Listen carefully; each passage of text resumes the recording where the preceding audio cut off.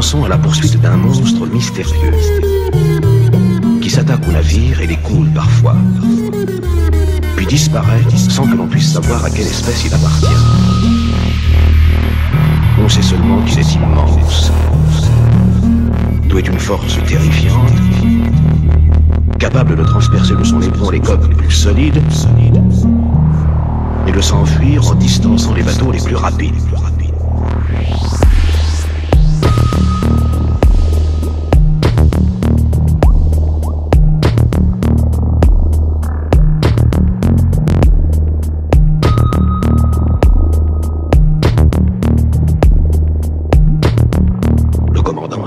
Mission de détruire. À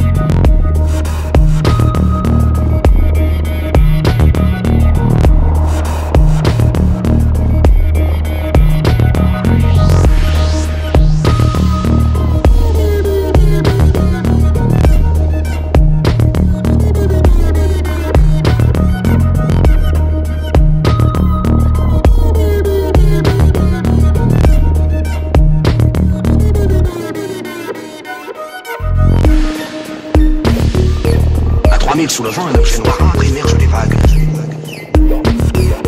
La bête se promène tranquillement, laissant derrière elle un sillage d'écume blanche.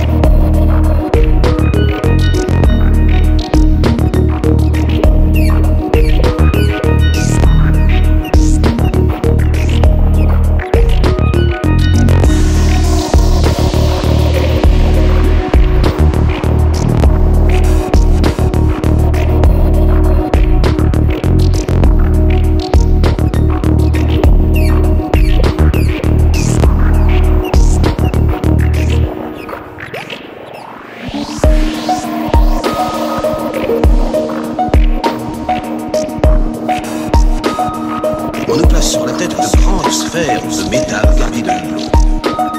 Ainsi équipés, nous descendons dans une sorte de puits étroit, dont un matelot referme derrière nous hermétiquement le couvercle d'acier. Puis, la mer pénètre lentement dans notre refuge. Nous nous laissons glisser par une trappe qui s'ouvre sous nos pieds et foulons bientôt le sable de la plage sous-marine. Au-dessus de ma tête, l'ombre vient de passer. C'est un requin du Pacifique, le plus redoutable de cette espèce. Ses terribles mâchoires ouvertes, il nage vers le Canadien absorbé dans la consommation de son trésor. Des flots de sang rougissent les eaux et nous aveuglent. Frappé au cœur, le requin foudroyé s'élève sur la surface de l'océan.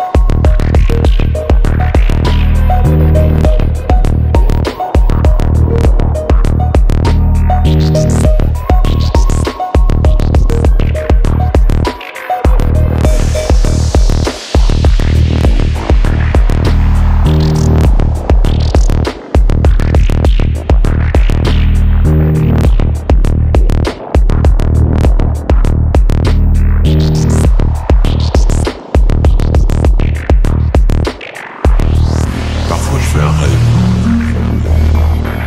Je marche sur la plage. Et je tombe sur une grosse chaîne qui semble me poser sur le sable. Alors je la prends, je tire dessus, et hop La mer commence à se vider. Au bout d'un moment, il n'y a plus une seule goutte de feu.